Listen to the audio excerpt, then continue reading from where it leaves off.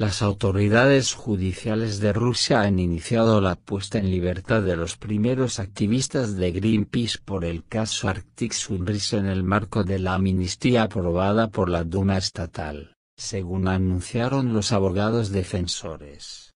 Hoy los primeros acusados en el caso Arctic Sunrise recibieron una buena noticia, porque el Comité de Investigaciones ha cerrado sus causas penales indicó Greenpeace citado por la agencia RIA Novosti.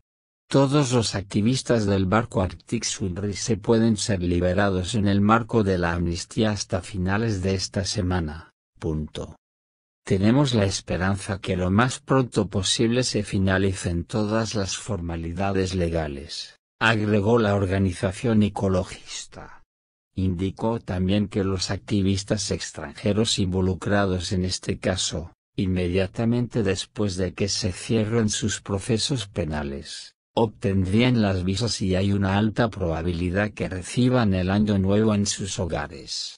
30 activistas de Greenpeace fueron detenidos el pasado 19 de septiembre a bordo del barco Arctic Sunrise, después de que regresara de una plataforma petrolera rusa donde habían realizado una acción de protesta contra la extracción de hidrocarburos en el Ártico.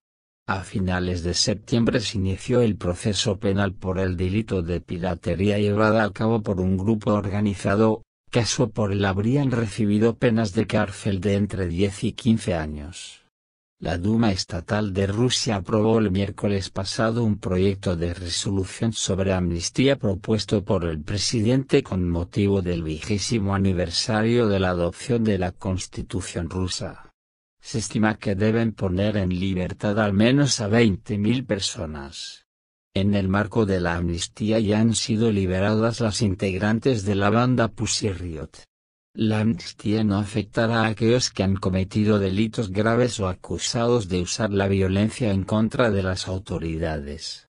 El documento aprobado recoge la categoría de los reclusos, los sospechosos y los acusados socialmente menos protegidos. La amnistía abarca también a las personas que tengan, como dice el texto de la sentencia, algunos méritos ante la patria,